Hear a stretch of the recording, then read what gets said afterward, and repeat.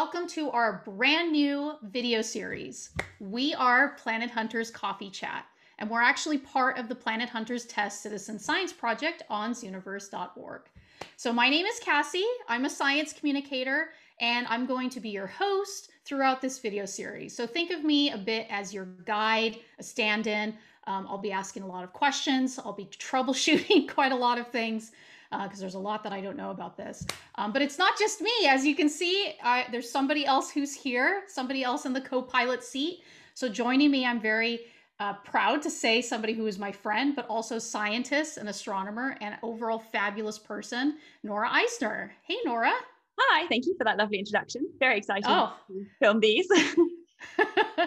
Yay. So uh, between both of us, we're starting, like I said, this brand new video series. So if you are interested in exoplanets, uh, would like to know, know, more about citizen science, uh, you're in the right place. If you're a long term contributor already, um, but maybe would like to learn more about tools and tricks of the trade in astronomy, ask questions to astronomers, uh, talk to other citizen scientists who maybe who have already published science papers. Guess what? You're in the right place.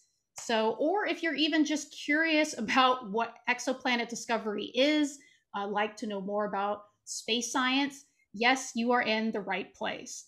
So, that's where this video series is going to come in. We're making this hybrid sort of tutorial citizen scientists can participate in, can ask a lot of questions to astronomers. And overall, we want you to help participate in making planetary discoveries. And you're going to be using real tools, real uh, NASA data, and uh, learning about all of this astronomy lingo alongside myself because I'm going to be learning it as well. this is a brand new, out of my knowledge wheelhouse type of thing. So, more of that to come in future episodes. This is very much just an intro uh, to introduce you to myself and to and to Nora. Um, so let's talk to Nora and get to know a little bit about what she's been up to. So, Nora, you are part of the Planet Hunters TESS um, project on the Zooniverse platform. And maybe talk a little bit about that, what it is, how did you get involved with it, and maybe the type of astronomy work that you focus on too.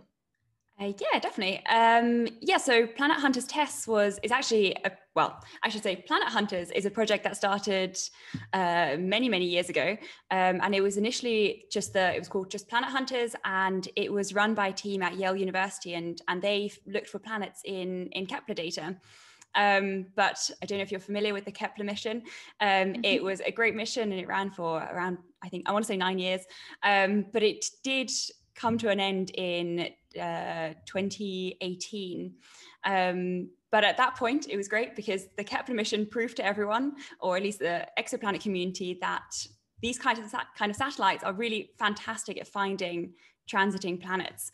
Um, so there was already a new TESS satellite or new NASA satellite in place, ready to take take over from Kepler.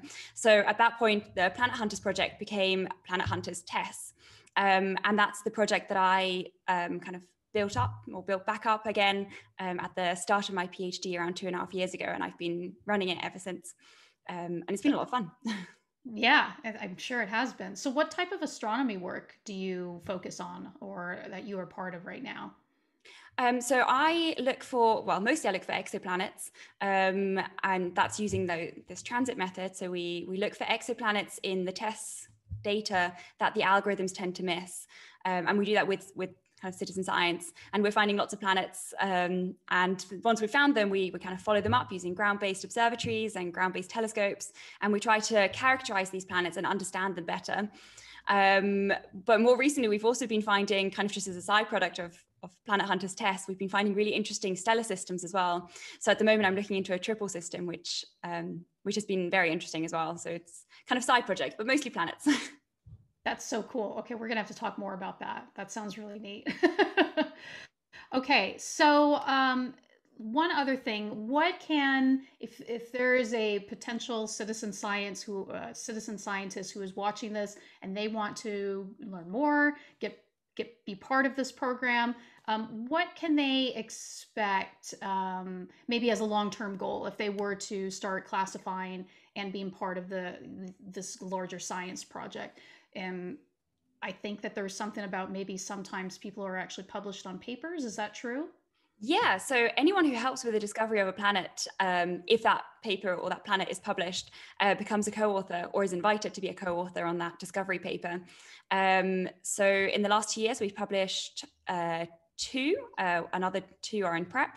Um, and there's about 15 citizen scientists on each one of those. So it, has been really great. It's um, yeah, it's really fantastic having the citizen scientists on the paper because they do so much of the of the work, and I mean they wouldn't be found without them. So they very much deserve to be on the papers, and and it's great that they are.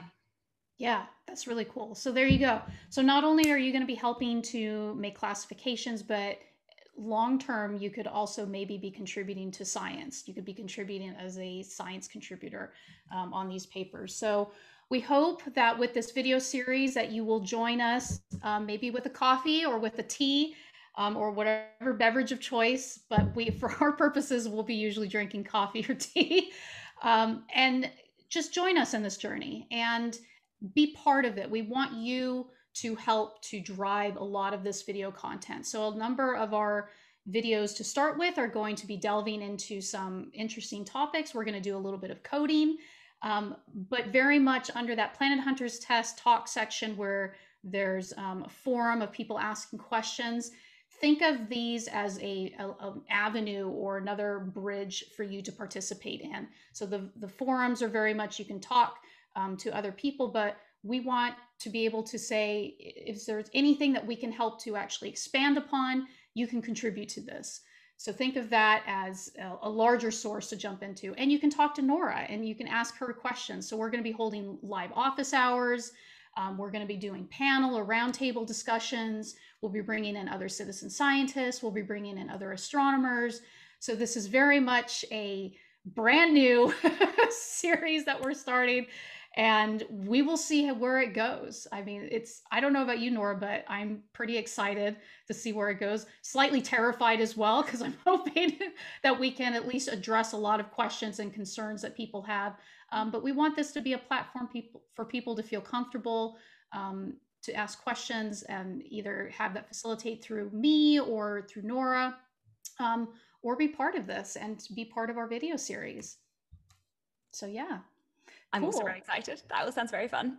Good. Excellent. All right. Until next time, um, I just want to thank you very much for joining us today, and uh, we will see you on our next video. Thank you. Thanks, Nora. Thank you.